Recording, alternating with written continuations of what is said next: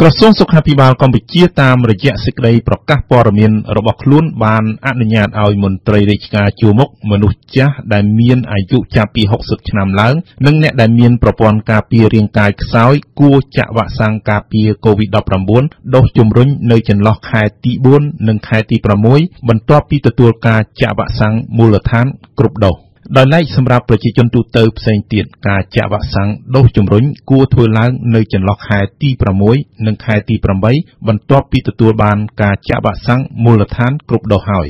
ក្រសួងសុខាភិបាលពន្យល់ថាការចាក់វ៉ាក់សាំង COVID-19 មិនបង្កឲ្យមានផលរំខានដែលបង្កឡើងដោយវ៉ាក់សាំងនីមួយៗជាធម្មតានោះទេបើទោះណាជា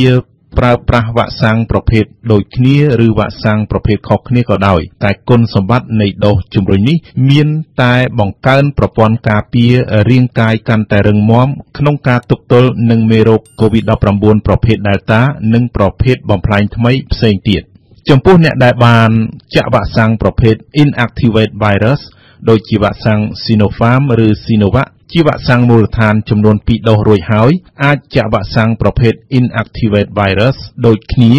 ដូចជា Sinopharm ឬ Sinovac ជាដូសជំរុញក៏បាន ឬអាចចាក់វ៉ាក់សាំងប្រភេទផ្សេងគ្នាដូចជាវ៉ាក់សាំងប្រភេទ Viral Vector ដូចជា AstraZeneca ឬវ៉ាក់សាំងប្រភេទ mRNA ដូចជា Pfizer ឬ Moderna ជាដូសជំរុញក៏បាន នេះបើតាមក្រសួងសុខាភិបាល។ ក្រសួងសុខាភិបាលបន្តថាចំពោះអ្នកដែលបានចាក់វ៉ាក់សាំងប្រភេទ Viral Vector ដូចជាវ៉ាក់សាំង AstraZeneca ឬ Johnson Johnson ជាវ៉ាក់សាំងមូលដ្ឋាន បានគ្រប់ដូសរួចហើយ គឺអាចចាក់វ៉ាក់សាំងប្រភេទ Viral Vector ដូចជា AstraZeneca ឬ Johnson Johnson ជាដូសជំរុញបានឬក៏អាចចាក់វ៉ាក់សាំងប្រភេទ mRNA ដូចជា Pfizer ឬ Moderna ជាដូសជំរុញក៏បាន។ ដោយឡែកចំពោះអ្នកចាក់វ៉ាក់សាំងប្រភេទ Inactivate Virus ដូចជាវ៉ាក់សាំង Sinopharm ឬ Sinovac ជាដូសជំរុញសម្រាប់អ្នកដែលបានចាក់វ៉ាក់សាំងប្រភេទ Viral Vector ដូចជាវ៉ាក់សាំង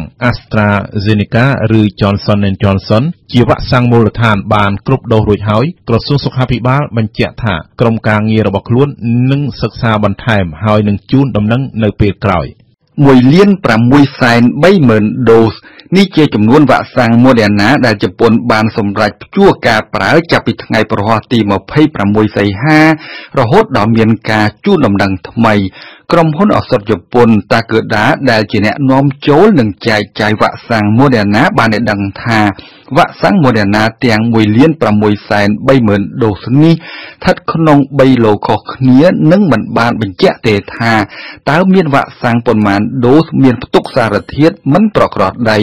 តែបើយោងតាមកណាលទូរទស្សន៍ជប៉ុន NHK នៅក្នុងចំនួនវ៉ាក់សាំង Moderna ទាំង1លាន6សែន30000ដូសនេះមានតែ